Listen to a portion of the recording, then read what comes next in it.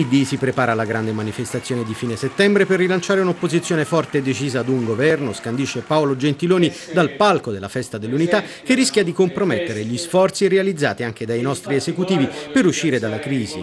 Questo governo ha un problema drammatico di reputazione. Mi auguro che alcuni ministri, penso al ministro dell'economia, riescano a correggerla questo difetto di reputazione.